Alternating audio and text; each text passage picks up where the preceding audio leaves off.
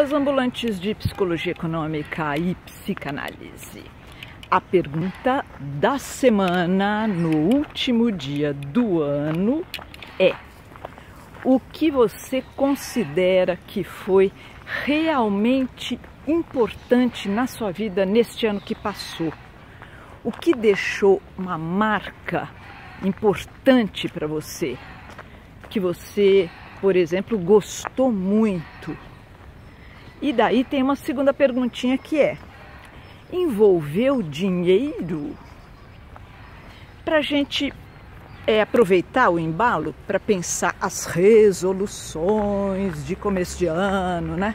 Que são tão comuns e populares, né? Todo mundo gosta de uh, fazer né, resoluções de começo de ano. Para você daí colocar as suas prioridades. Lembra do que realmente fez a diferença para você no ano que passou?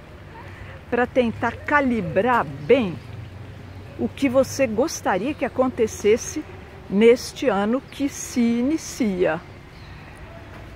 Feliz Ano Novo a todos!